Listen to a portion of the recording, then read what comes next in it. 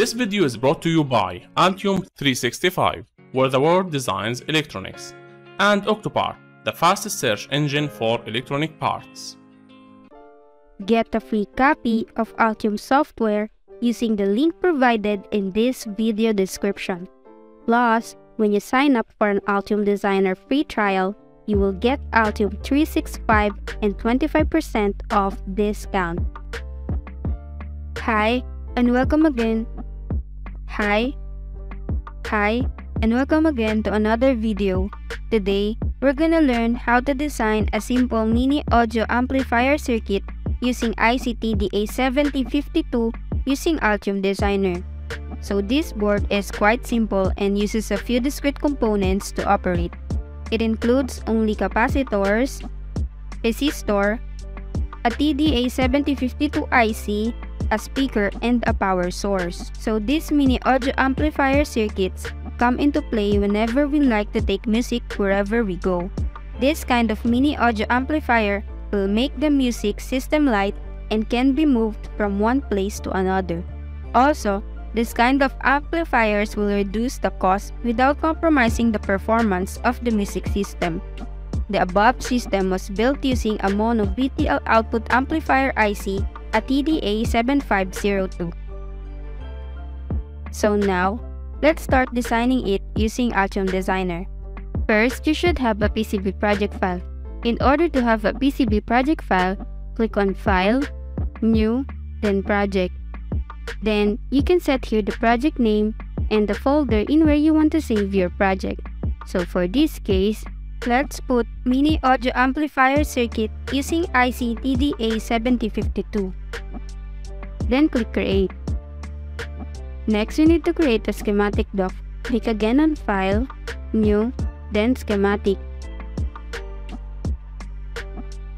After the schematic sheet appear, save the schematic doc. Right-click on the schematic doc, then click Save. Save it to the same folder. Next, we're going to create a library. Click on File, New, Library, then Schematic Library. Save again this one.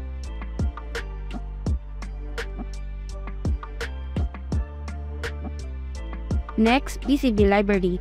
Click on File, New, then Library, then PCB Library.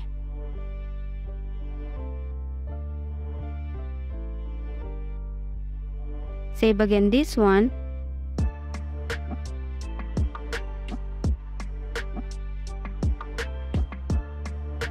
Now for this PCB, we will be using a library loader. So go back again to schematic doc, make sure that you're always in the schematic doc and click on the library loader.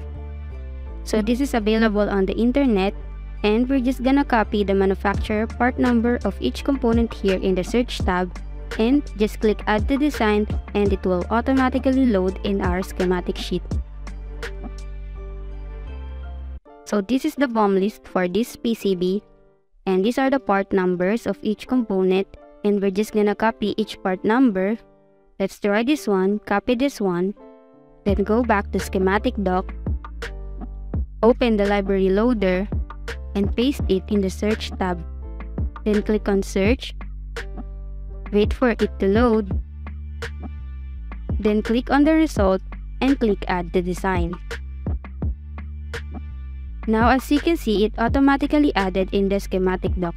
And if we check on the schematic library, you can see that it is added on the library. So, next thing we need to do is to edit the comment. So since this is a terminal block, we will put here the value of the component. So save this one.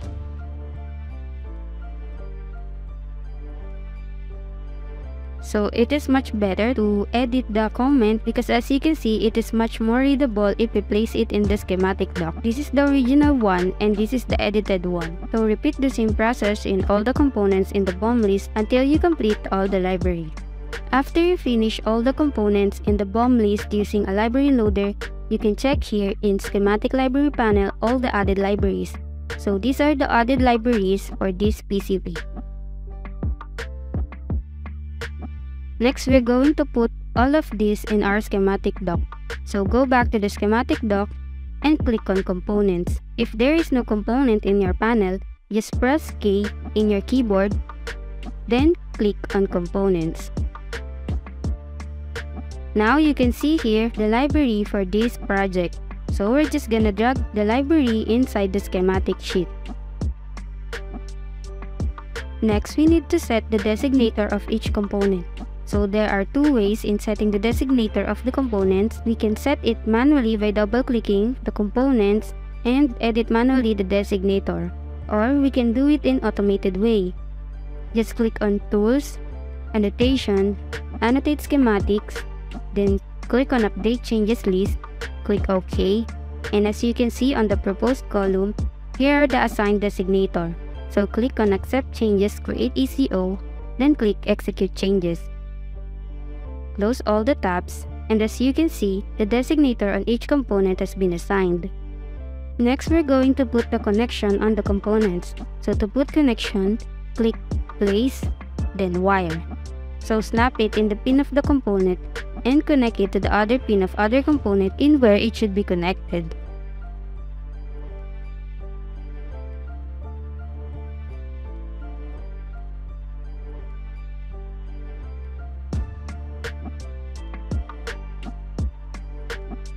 Now as you can see, we have a small circuit and a huge schematic sheet. Now we're going to edit the size of our schematic sheet. Just go to Properties panel Change the units to mm and click on Custom. Now this is where you can set the width and the height of the schematic sheet. So, this is the finished schematic and before we go to the placement, make sure to always perform validation. So just right click on the project PCB file and click on validate. Then to check the result, go to message panel. As you can see, no errors found. So now we can perform engineering change order. So before that, we need to create the PCB. Click on File, New, then PCB. Next, save this one.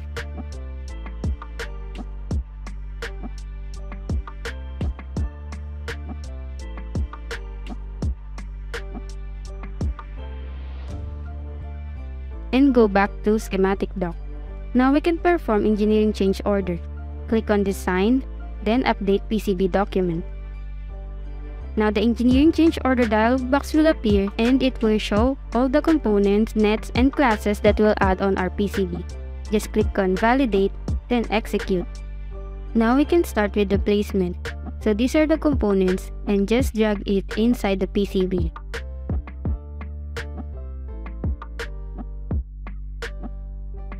After you place all the components inside the PCB, next we're going to edit the board shape. Just press 1 on your keyboard to activate this kind of view, then click on Design, then Edit Board Shape. Now, the snap points will appear. So we're, so we're going to drag it manually in accordance to your board shape. Now press number 2 on your keyboard to back in 2D view. Now as you can see, the board shape has been set. And now we can start with the layout. To add connection, just click on Route, then Interactive Routing. Click it to the pad of the component and snap it to the other end of other component in where it should be connected.